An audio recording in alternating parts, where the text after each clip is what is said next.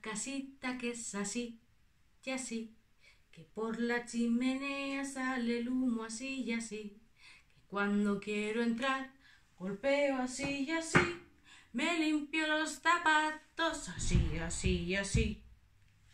¿Y ahora?